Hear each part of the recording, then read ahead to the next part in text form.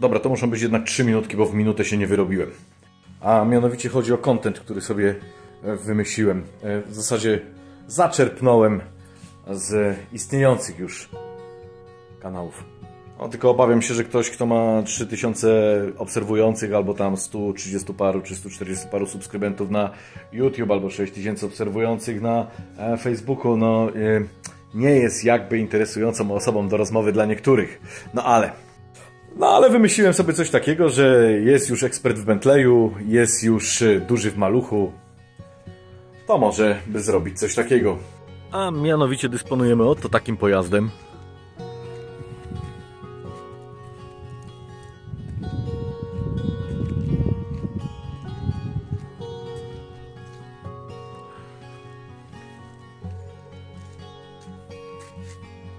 To może zrobilibyśmy na przykład kwiatek w taksówce.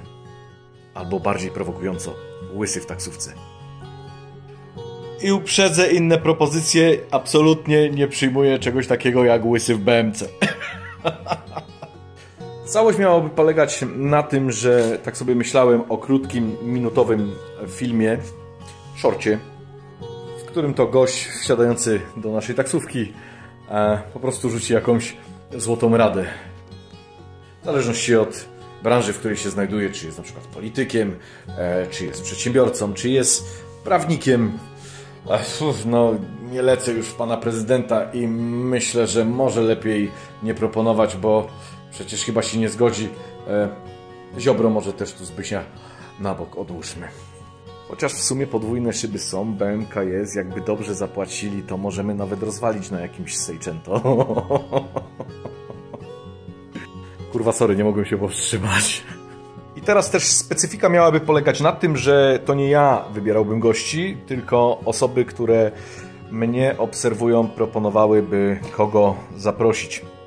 E, No i zaprosić. Zaproszenie to zbyt duże słowo, bo chodzi o to, żeby oznaczać te osoby na TikToku, na YouTube, na Facebooku, na Instagramie.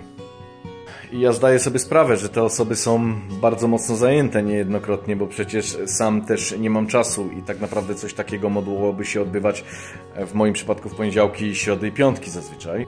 Ale to by też pokazało, jak bardzo komu zależy na tym, e, żeby przekazać coś szaremu obywatelowi i porozmawiać z szarym obywatelem.